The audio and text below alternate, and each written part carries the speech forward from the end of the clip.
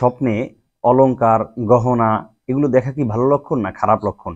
এটা কি স্বপ্নদ্রষ্টার জীবনে অনাবিল সুখ শান্তি বয়ে আনবে, নাকি অকল্যাণ আর অনিষ্টতা চেপে বসবে?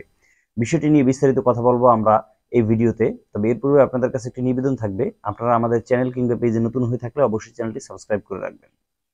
রায়হানা তারান্নুম নামের এক বোন আমাদের কাছে প্রশ্ন পাঠিয়েছেন ইউটিউবের কমেন্ট বক্সে, মোহতারাম, আমি জানতে চাচ্ছি, যদি স্বর্ণ, অলংকার, গহনা এগুলো স্বপ্নে দেখে, তাহলে সেটা কি ভালো লক্ষণ নাকি খারাপ লক্ষণ? জি খুবই গুরুত্বপূর্ণ একটি প্রশ্ন যে গহনা, অলংকার এগুলো দেখা ভালো না খারাপ? দেখুন, আসলে গহনা, অলংকার এগুলো দেখার বিভিন্ন ধরন হতে পারে। সোলেমানি খাবনামার ভিতরে এবং ইসলাম আর ফালনামা গ্রন্থে উল্লেখ করা হয়েছে যে এক একটার ধরন ভিন্ন হওয়ার সাথে সাথে তার স্বপ্নের ব্যাখ্যাও ভিন্ন হতে পারে। তবে মৌলিকভাবে সূত্র আকারে যেহেতু তাবিরুর ইয়ের ভিতরে বিশ্ববিখ্যাত স্বপ্নের ব্যাখ্যাকারক আল্লামা মোহাম্মদ সিরিন রহিমাহুল্লাহ উল্লেখ করেছেন, তিনি বলেছেন যদি স্বর্ণ অলংকার এগুলো দেখে মৌলিকভাবে তাহলে সেটা খুব ভালো। কিন্তু এটা কি অবস্থা দেখলে কি ধরনের ব্যাখ্যা হতে পারে, এটা নিয়ে বিশদ আলোচনা করা হয়েছে সোলেমানি খাবনামায়।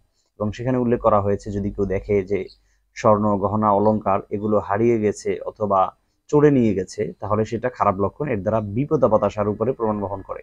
পক্ষান্তরে যদি কেউ দেখে স্বর্ণ, অলংকার, গহনা এগুলো সে প্রসাধনী ব্যবহার করছে, নিজে অলংকার দিয়ে সজ্জিত হয়ে কোথাও বের হয়ে যাচ্ছে, বেড়াতে যাচ্ছে, অথবা নিজে এমনিতেই পরিধান করেছে, তাহলে সেটা কিন্তু খুবই ভালো।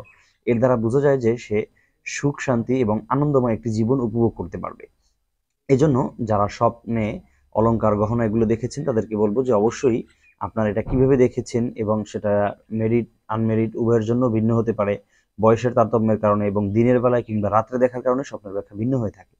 এজন্য যারা স্বপ্নে এ ধরনের গহনা প্রসাধনী দেখেছেন, তাদেরকে বলব যে অবশ্যই আপনারা এ বিষয়টা আমাদেরকে অবহিত করুন। ইনশাল্লাহ আমরা আপনাদের সিচুয়েশন বুঝে এবং স্বপ্নের সঠিক ব্যাখ্যাটা কীভাবে হতে পারে? অথেন্টিক স্বপ্নের ব্যাখ্যা গ্রন্থ থেকে আপনাদেরকে ব্যাখ্যা দেওয়ার চেষ্টা করব, ইনশাআল্লাহ।